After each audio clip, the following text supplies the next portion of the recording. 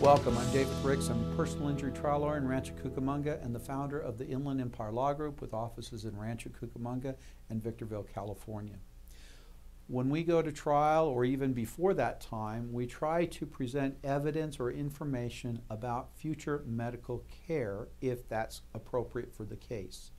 So, can an individual recover for future care that they haven't received yet, but is likely to occur? And the answer is generally yes.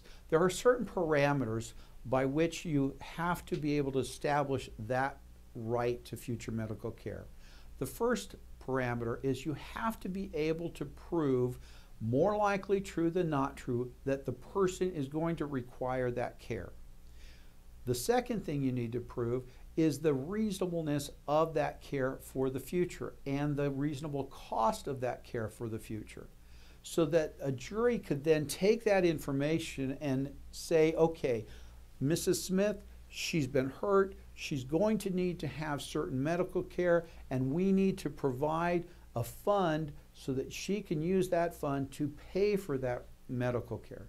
So, can you recover future medical care in a personal injury case? The answer is yes, as so long as you present it correctly with the right amount of proof that it's going to actually occur and is necessary for the recovery of the individual.